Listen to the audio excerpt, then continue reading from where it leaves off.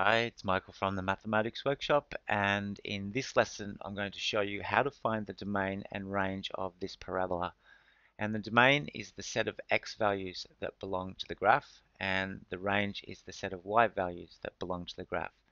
And the easiest way to find the domain is look for the lowest x value on the graph which is this value of minus 2 and if I mark that in on the x-axis here, roughly there, then this minus 2 corresponds to that point there or if you like I could do that to show that I've gone directly down to the x-axis and marked in the x value at that point.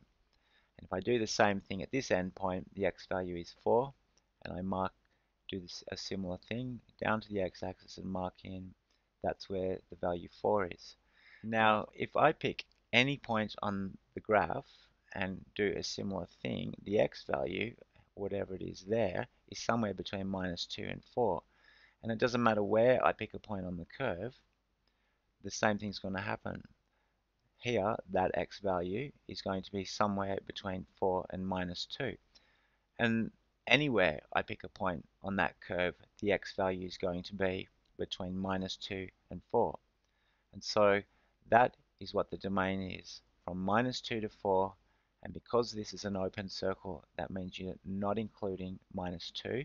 So you have a round bracket, and because this 4 is included, you have a square bracket. So the set of x values that belong to the graph are from minus 2 non-inclusive to 4 inclusive. To find the range, you can do a similar thing. Start by looking for the lowest y value, which is this, or at this turning point here. And if I mark that in here, and that is minus one and a half. That's the y coordinate in that set of coordinates. And going up to the highest point on the graph, which is this one here, the y value there is 3.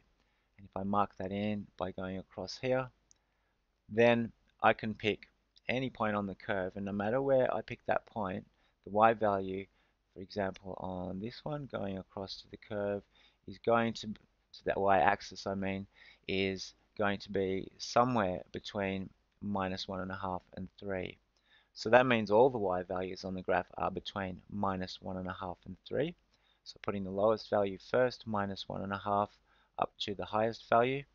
Now this time, the lowest value, minus 1.5, is included because that turning point does not have an open circle like this point here. So that means it is included. And I've only put that point there to show that that's where the turning point is. So it's not actually a colored in circle other than to show that it is the turning point.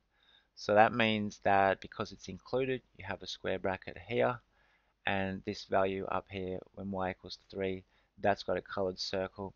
So that means that that's included as well. And so the range uh, is the set of y values from minus 1.5 to 3 inclusive.